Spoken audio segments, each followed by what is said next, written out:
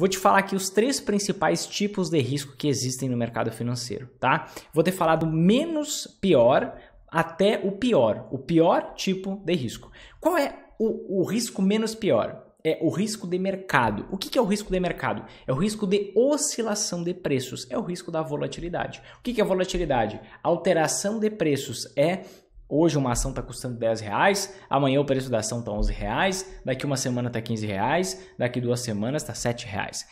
Esse é o risco de mercado. Esse é o risco mais brando que existe. Por quê? Porque ele tem movimentações, certo? O preço flutua, o preço muda, mas a gente consegue enxergar no longo prazo trajetórias específicas de cada investimento com base nas características daquele investimento. Então esse é um tipo de risco que a gente pode traçar assim como temporário. Só que tem um risco pior, que é um tipo de risco de liquidez. Não sei se você já conhece. Se eu fosse você, eu pegaria um papel, uma caneta e anotaria isso, tá?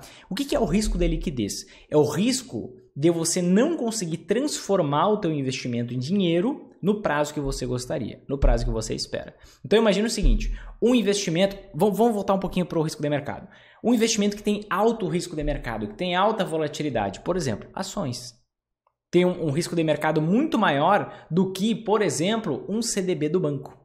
Ó, vou começar a linkar algumas coisas aqui. Sabe aquele CDB que rende 140% do CDI, 300% do CDI? O risco de mercado da ação é muito maior que o risco de mercado do CDB do banco, daquele investimento que tem lá no banco ou que oferece na corretora, enfim.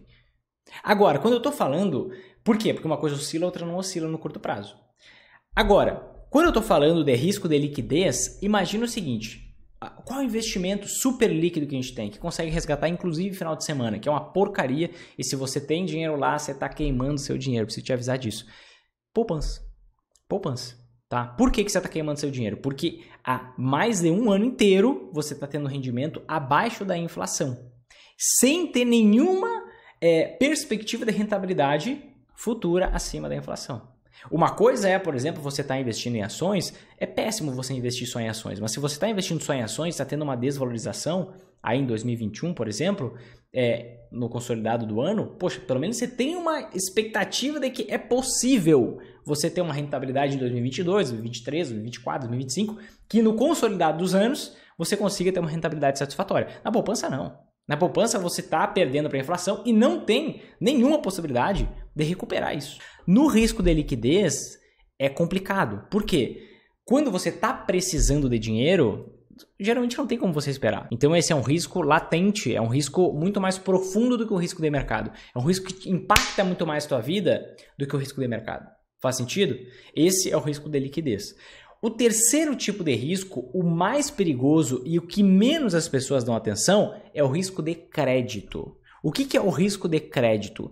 O risco de crédito nada mais é que o risco de calote, o risco de alguém te dar o calote.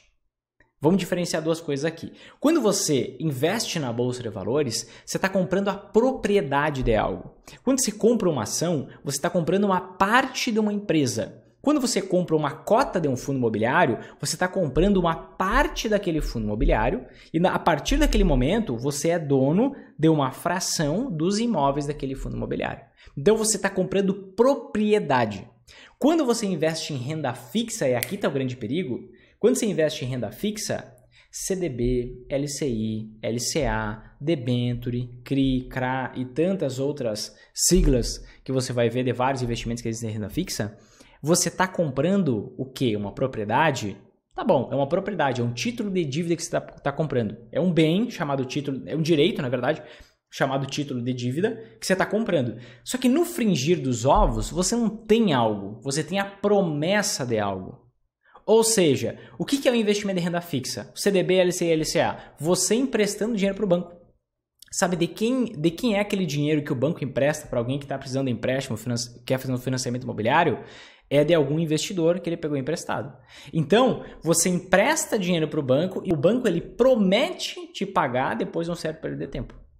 Só que você pode sofrer um calote. 68 bancos quebraram em 2008 nos Estados Unidos, na maior economia do planeta. Por que, que não pode acontecer aqui também?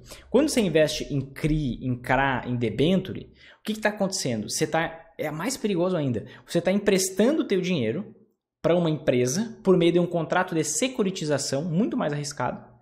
de forma que ela te promete devolver o teu dinheiro e te pagar algum juro adicional. Só que e se ela falir? Existe o risco de crédito, que é o risco de calote. Então perceba, risco de mercado, volatilidade, é algo que te pune momentaneamente e pode demorar um bom período de tempo, 10, 15 anos com tranquilidade se você investir de jeito errado. Agora, o risco de crédito, ele é instantâneo, ele é imprevisível. Você não consegue pensar assim, ó, bom, é, acredito que agora o risco de crédito está maior, vou deixar de investir em tal lugar. Não, ele se materializa e vem assim, ó.